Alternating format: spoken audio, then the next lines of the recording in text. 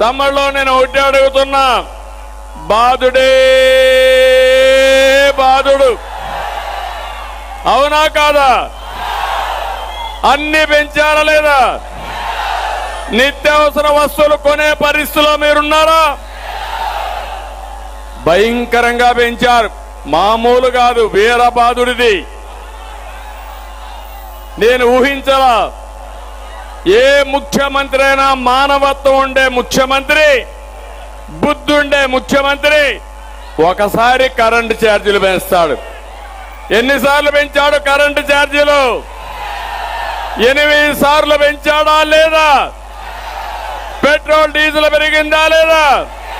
వంట గ్యాస్ పెరిగిందా లేదా? పప్పు పెరిగిందా? ఉప్పు పెరిగిందా? ఏం తమ్ముళ్ళు? బియ్యం పెరిగిందా? కూరగాయలు పెరిగాయా? అన్ని పెరిగాయి. నేను అడుగుతున్నా మిమ్మల్ని ఇంటి పన్ను పెరిగిందా లేదా? ఆర్టీసీ రేట్లు పెరిగాయా లేదా? రిజిస్ట్రేషన్ ఛార్జీలు పెరిగాయా లేదా? ఏంటయ్యా నువ్వు ఇచ్చింది బటన్ నొక్కింది. ఏంటి నీ బటన్ నొక్కుడు? అది బటన్ నొక్కుడు కాదు బటన్ బొక్కుడది. పది రూపాయలు ఇచ్చి వంద రూపాయలు దోచేసిన అవునా కాదా అని మిమ్మల్ని అడుగుతున్నా. ఏం తమ్ముళ్ళు ఇది పేదల ప్రభుత్వం ఇది. ఆడబిడ్డలు ఆలోచించాలి వంట గదికి పోతే గుర్తొచ్చేది సైకో ముఖ్యమంత్రి గుర్తొస్తాడు. ఒకప్పుడు ఉల్లిపాయ కట్ చేస్తే కళ్ళలో నీళ్ళు వస్తాయి. కానీ ఈరోజు వంట గదికి పోయి గ్యాస్ ఆన్ చేసినా నిత్యావసర వస్తువులు చూసినా కళ్ళ నీళ్ళు వచ్చే పరిస్థితి వచ్చిందంటే ఎంత భయంకరమైన వాతావరణంలో ఉన్నామని అడుగుతున్నా. అందుకే నేను బాధుడే బాధుడు ప్రారంభించాను. మీ రక్తాన్ని తాగే ముఖ్యమంత్రి మీ ఆరోగ్యంతో ఆడుకునే ముఖ్యమంత్రి అవసరమా మనకు? వేల కోట్ల రూపాయలు దోచేస్తున్నాడు అది సెంట్రలైజ్డ్ కరప్షన్ తమ్ముళ్ళు నేను అడుగుతున్నా ఇసుక నలభై లక్షల మంది భవన నిర్మాణ కార్మికులు. ఒకప్పుడు ఇసుక మీకు దొరికిందా లేదా? మీ ఊర్లో నేనున్నప్పుడు ఇసుక మీరు తీసుకెళ్ళారా లేదా? ఎవరైనా అడిగారా ఆ రోజు? ఈరోజు మీ ఊర్లో ఉండే ఇసుక మీరు తీసుకుపోతారా? లారీ ఎంత ఇప్పుడు? ఐదు వేలు అవునా కాదా? ఏడు వేలు. డెబ్బై వేలు. ట్రాక్టర్ ఐదు వేలు. లారీ డెబ్బై వేలు అవునా కాదా?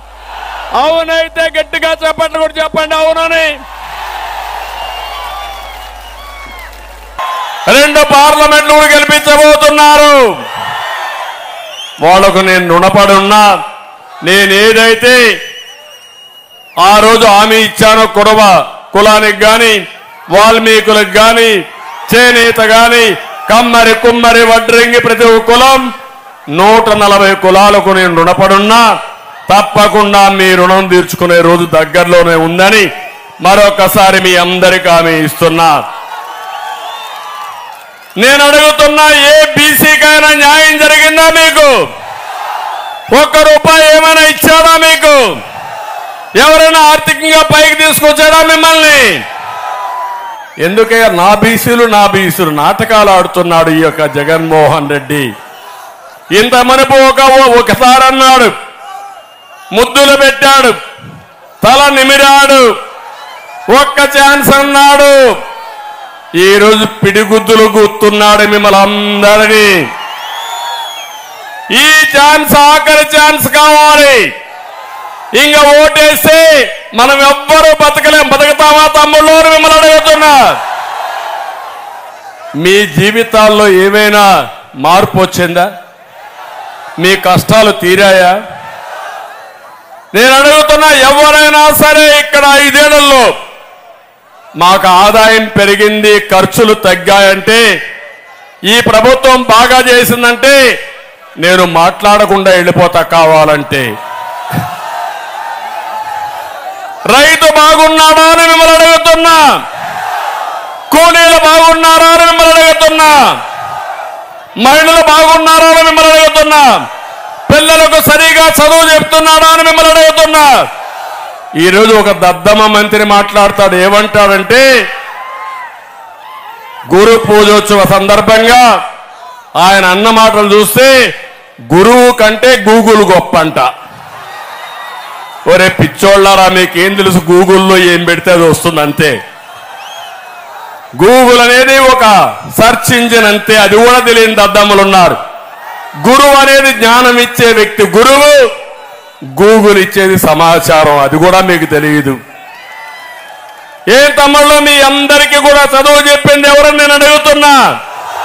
చదువు చెప్పబోయేది ఎవరని అడుగుతున్నా. అలాంటి గురువులు పట్టుకొని ఎగతాళి చేసే పరిస్థితి వస్తే వీళ్ళని ఏమనాలా? వీళ్ళ కండ కావరం అహం భావం. మీరే గుర్తుపెట్టుకోవాలి ఒకటే మీ చేతుల్లో ఉంది.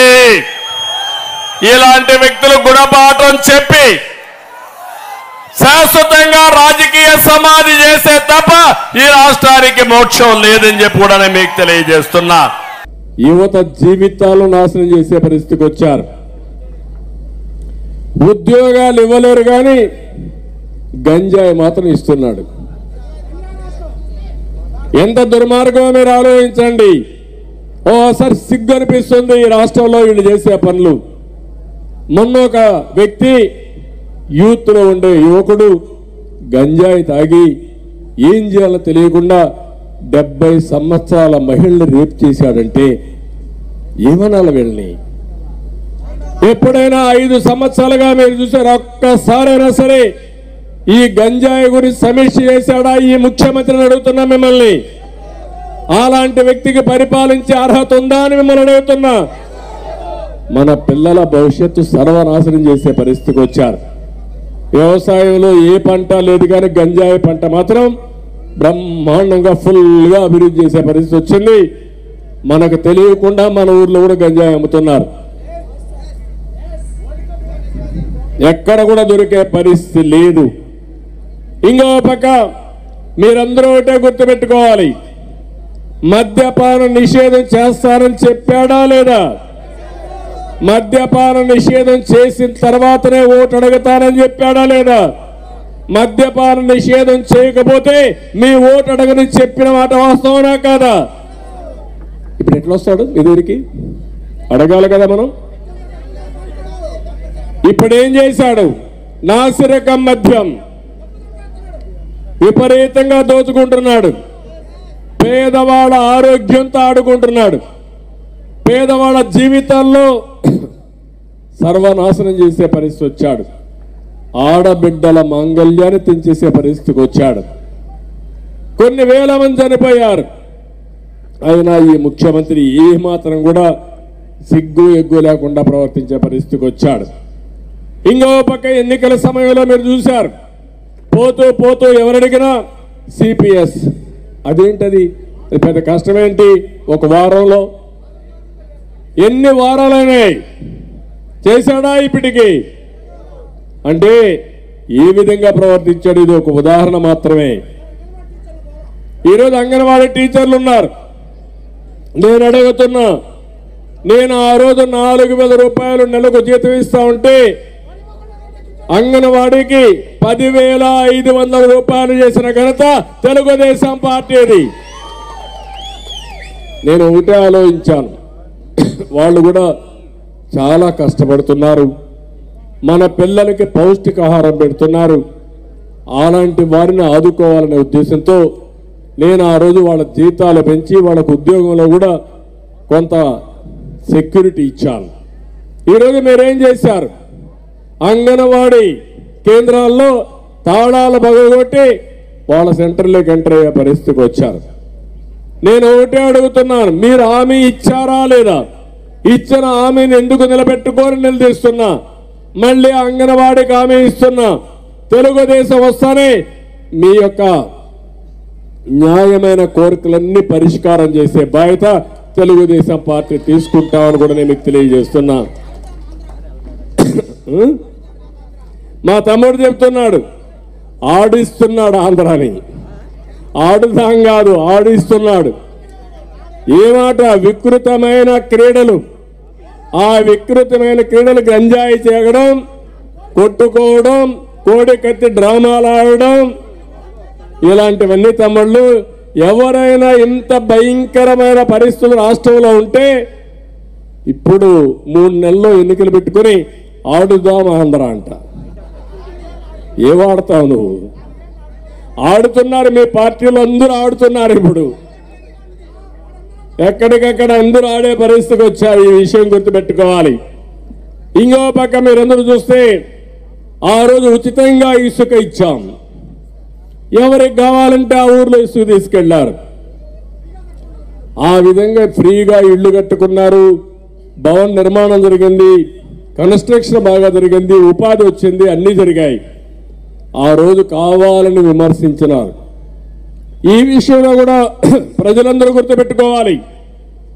దొంగే దొంగ దొంగ అని అరిసి తప్పించుకోవడానికి ప్రయత్నం చేసినట్టు ఆ రోజు ఇసుకలో అన్యాయం జరిగిందని చెప్పి ఈ రోజు ఆ ఇసుక కూడా అమ్ముకుంటున్నామంటే ఏమనాలని అడుగుతున్నా